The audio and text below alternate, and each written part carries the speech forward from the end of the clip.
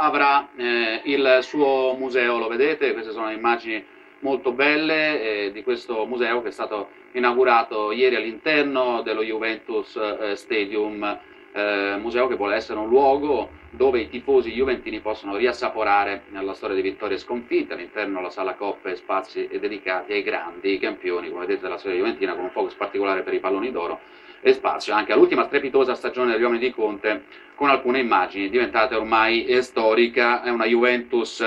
che è condannata a vincere, come ha detto il presidente Andrea Agnelli, e che domenica affronterà in finale allo Stadio Olimpico di Roma, eh,